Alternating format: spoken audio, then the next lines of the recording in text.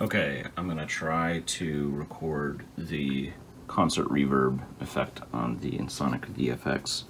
I don't know how to reproduce it, but I'd love to. So the diffusion is zero, or the reflections, pre-delay, time, uh, decay, reverb, damping, all that to zero.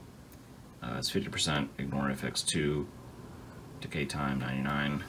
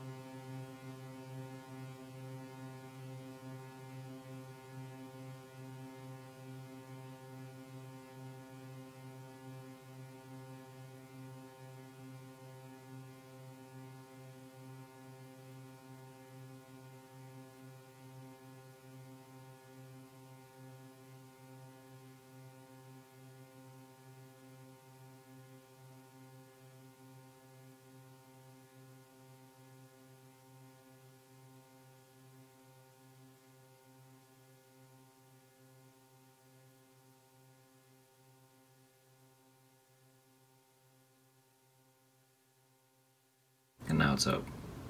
Noise floor dips, but uh, yeah. So that's that's a pretty long decay, but I also just like how it feels.